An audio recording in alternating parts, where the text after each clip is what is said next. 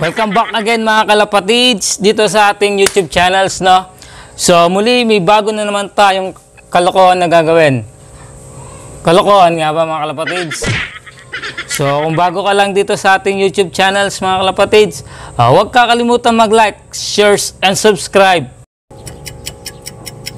So ayun nga no mga kalapatids. Bali yung topic natin uh, today uh, is about uh, sa nabili nating ibon na 200 dalawa na quality na. So paano nang paano nga ba naging quality 'yon no mga kalapatids? So tara samahan niyo ako, uh, papakita ko sa inyo yung ibon na nabili natin no.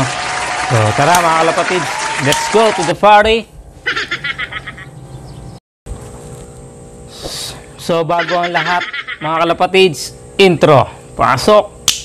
like a Hellcat.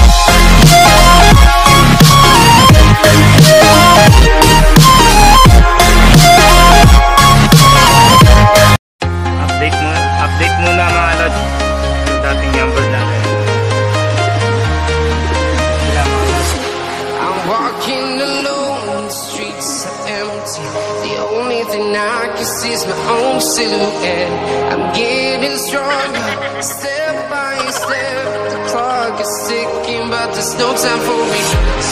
I've been flying from town to town, from London to Taiwan. I've been all around the globe trying to protect your soul. We are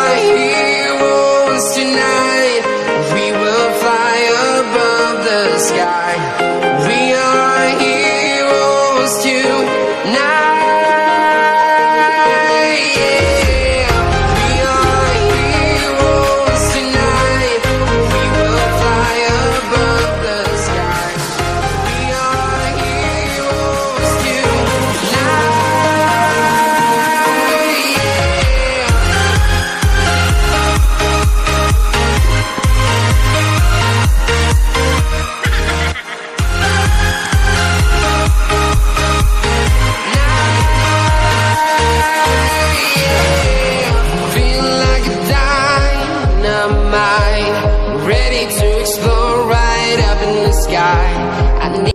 A few moments later.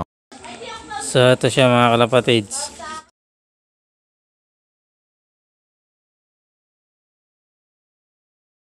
Hindi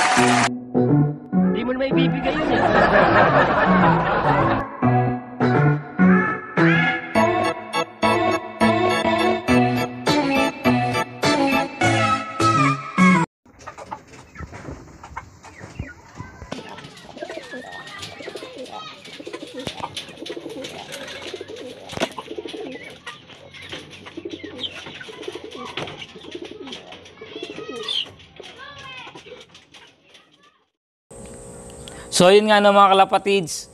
Ah, kung nagustuhan nyo itong videos natin, huwag kakalimutan mag-like, share, and subscribe dito sa ating YouTube channels para updated lagi kayo sa mga bago nating YouTube videos.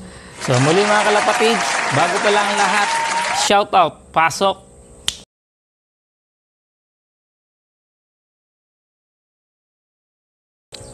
Shoutout kay Marvin San Juan ng Usapang Mga Kalapati. And shoutout din kay Partners Love TV. So shoutout din kay Patty Lop ng Apalit. And shoutout din kay Jesse Cruz ng Blue Jay Lop ng Apalit. Shoutout din kay Roy Santa Ana ng Paumbong, Bulacan. Shoutout din kay Glenn Mark Lazaga ng Om Along Apalit. So, shoutout din kay Boss Jake Arcilia